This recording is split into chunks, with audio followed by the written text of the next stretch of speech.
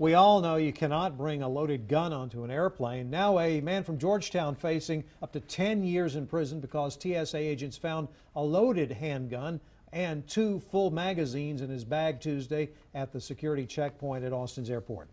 The police report says that David Patnode told officers he forgot the weapon was in his bag after he went hunting a couple of weeks ago.